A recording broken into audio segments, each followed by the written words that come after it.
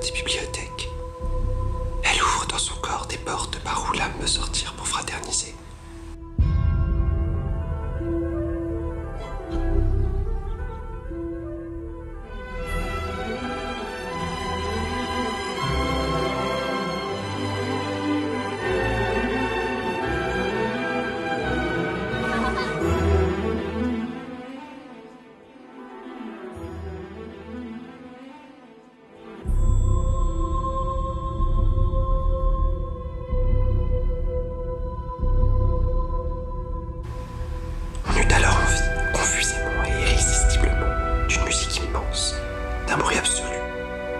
Et joyeux vacarme qui embrasserait, inonderait, étoufferait toute chose, où sombrerait à jamais la douleur, la vanité, l'insignifiance des mots.